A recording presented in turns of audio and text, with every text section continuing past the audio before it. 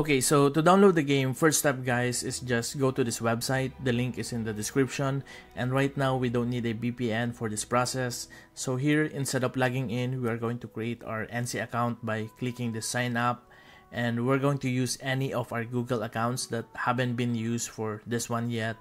And the most important part here is the region. At first, it will choose where you are currently located, but you need to change this to Taiwan. So after creating this account, you will be back here. Just check all of these check boxes and then click this button and you're going to receive a coupon that you will use later in the game. And then guys, after that, just scroll down and here you will see this purple.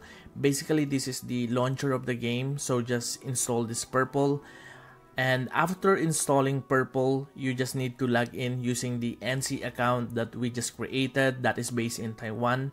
And with that account when you log in you will be switched automatically to the taiwan region. That's why here you can see that we are seeing AION with some chinese words.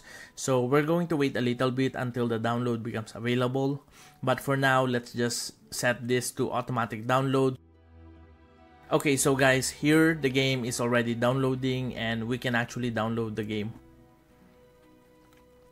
And now guys, we just finished downloading the game and we just need to wait for the opening of the server at 10 a.m.